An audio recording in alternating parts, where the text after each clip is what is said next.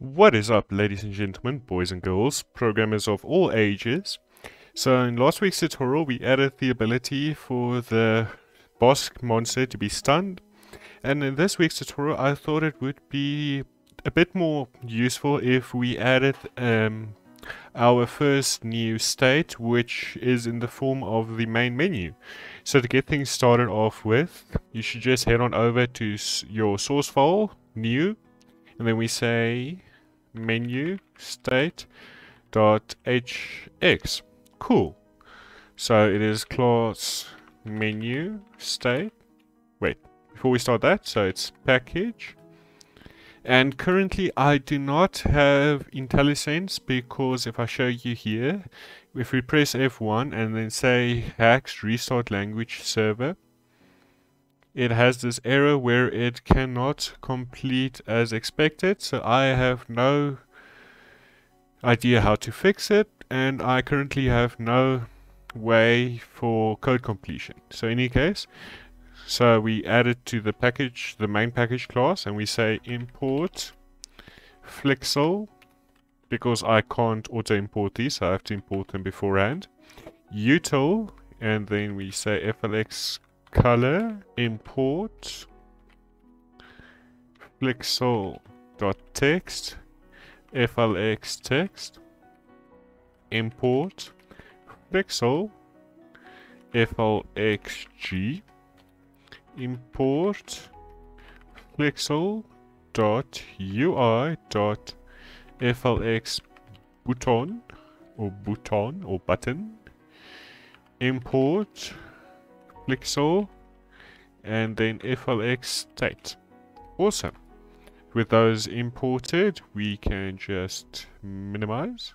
So we say class menu state extends FLX state.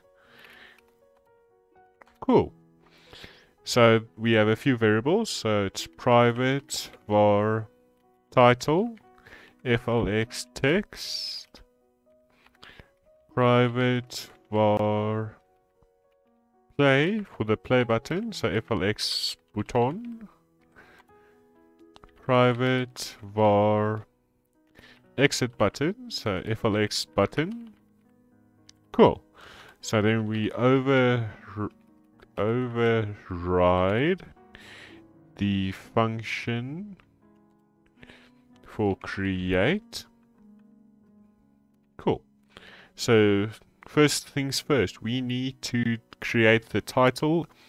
And just before I start, one thing that did trip me up a bit whilst making this tutorial is my lack of understanding of how it works. Let me just fix this because it's bothering me and it won't be corrected unless I do it.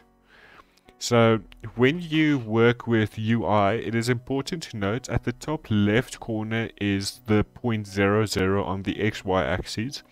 So everything that you make, you need to keep in mind that that's the top left corner is 0, 0, and the bottom right corner is the width and the height point. So that's the maximum point. So everything that you put on the screen, you have to keep in mind that the further down it goes, the higher the x or the higher the y um, value will be. So first we have title equals new flx text. And we say 50 0 0 introduction to hex flixel and we say it's a character size of 18 so I, from what I remember because I can't have any hints on what this is I say it is 50 down so it's an additional plus 50. That it's difficult to explain without giving you the pop text pop up to give you the thing. So just follow this on your side. You'll you should have a text pop up. If not, then well, there's not much I can do. Sorry. you can go read the documentation. So we say title dot alignment equals center so we want the text alignment to be in the center. And then title dot screen center is on the x-axis. So we want to center it in on the x-axis, so it's at x0. And then we add the title. Next up is the play button. So play equals new FLX button at point zero zero. It has the text of play and it has a function of click play which does not exist yet so we'll have to create that later on. Next up is play dot the x variable for play equals so brackets. Flxg dot width. The width of the screen divided by 2 so we get the half of the screen minus the play dot width divided by 2 so this just says we want to position it at the middle but if we position at the middle you'll notice that like with the UI that starts at the top left at 00, it would be the same with the buttons. At the top left of the button would be 00. 0. So we just say move the button up a bit to the left so that it is centered on the screen properly. Cool. So play dot y equals flxg dot height divided by 2. So move the button to the middle of the screen, although just a bit up, but it doesn't matter if it's like a bit up. So then we add it to the state, so we say add play, and then finally is the exit button, so we say exit equals new FLX button. Zero at point zero zero with the um, text of exit and anonymous function or anonymous callback function or a void callback function. However you want to say it it's a function that gets called that does not return anything. So click exit. So exit dot x equals so again we want to have the um, width of the screen, so copy, minus the exit dot width. I don't actually know what's the extra brackets for, so we can probably remove those. Exit dot width divided by 2. So the same thing we did up here with the play button. Cool. And I misspelled exit. So exit dot y equals so again the height of the screen plus the play button's height. So we move it down by the height of the play button plus an additional 10 bits or pixels. I'm not exactly sure what the unit of measurement is but we move it down an additional 10 so that there's a bit of a gap between the two. And then we add exit. And then we call super.create.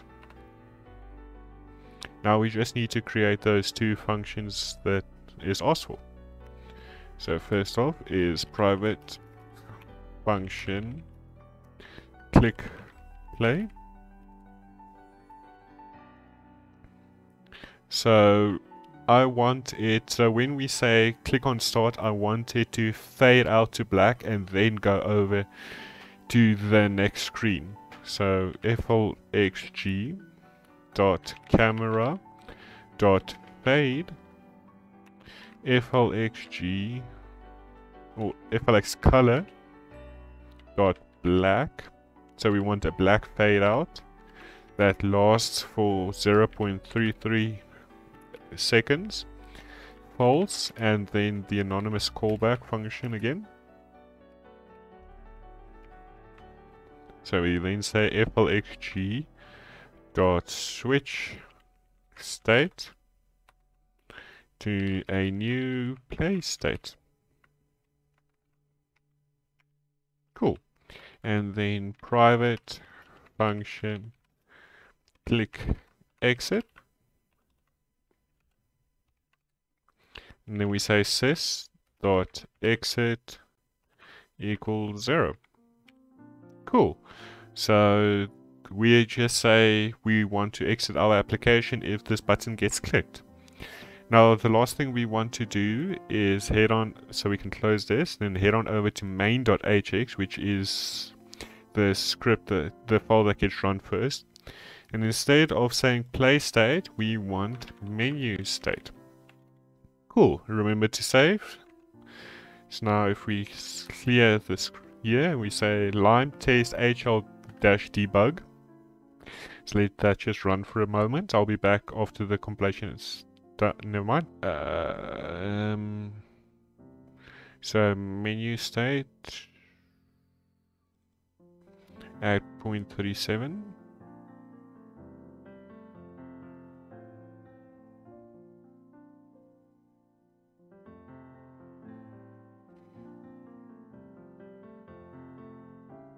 No, wait. This is line 28. Oh, I misspelled with. Uh-huh. Lol.